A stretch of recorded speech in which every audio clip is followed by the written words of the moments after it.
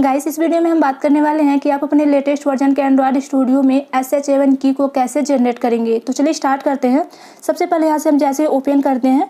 Open करने के बाद जैसे आप यहाँ से ग्रेडल पे क्लिक करते हैं तो यहाँ पे आपको ऑप्शन आ जाता है।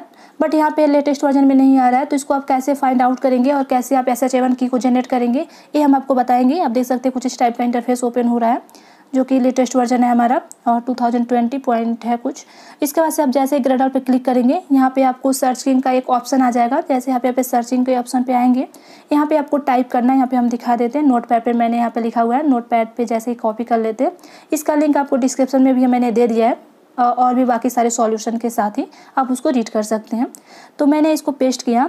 और साइनिंग रिपोर्ट करने के बाद इसको मैंने इंटर किया। इंटर करने के बाद आप देख सकते हैं नीचे एस एच एवन की बहुत ईजी तरीके से जनरेट हो गया और बाकी इसके साथ जितने भी की होते हैं साइनिंग रिपोर्ट के लिए वो सारे की यहाँ से जनरेट होकर आ जाते हैं। इस तरह से बहुत ईजी तरीके से आप यहाँ से जनरेट कर लेंगे। Thank you